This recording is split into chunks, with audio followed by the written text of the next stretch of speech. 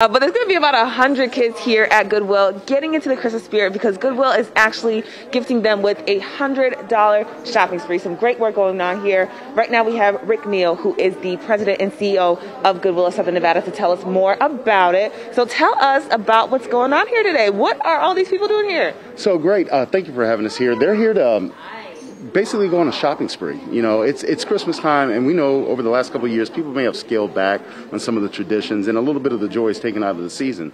So we want to take a little pressure off and have a good time and just bring some of the community in. It's a little bit different than what we do with our normal uh, career services, where we're out there providing workforce uh, development areas. This is one just giving back in a different way to the community.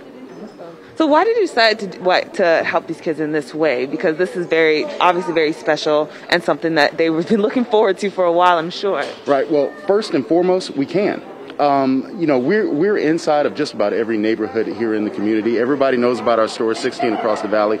So we wanted to make sure that we could give them an opportunity that maybe they wouldn't have had. You know, others, uh, depending on your situation, a lot of other people have an opportunity to go out in the shop and just, hey, they're not really thinking all that much about it. So we wanted to give them that experience. So it's just about the pure joy of receiving or giving a gift because many of the kids we find actually are picking out gifts for someone else.